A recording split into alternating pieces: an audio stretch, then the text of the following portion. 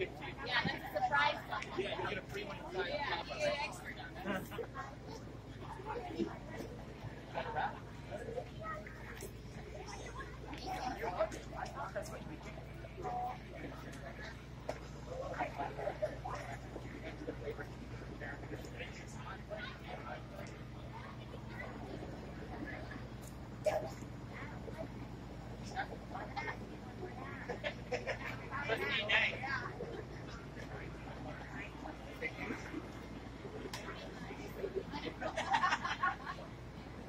National Donut Day. Uh, this uh, guy that owns Donut Bar is a good example of legal immigrants that are living the American dream, guys. That's who we want in this country, not illegals that disrespect our country.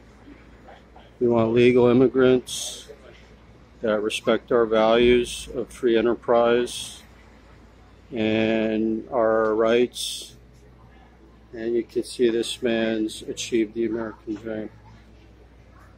I believe he's an Im- a legal immigrant from Cuba, and he achieved the American dream, um, owning the most popular donut bar in the United States, the most popular donut shop in the United States.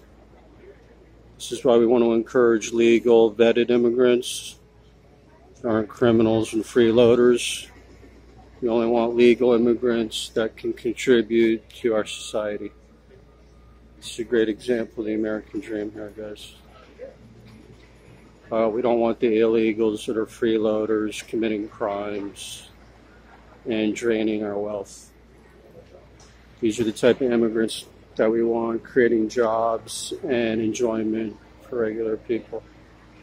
It's Jonathan Adler reporting for the U.S. Nationalist Report. Thanks for watching.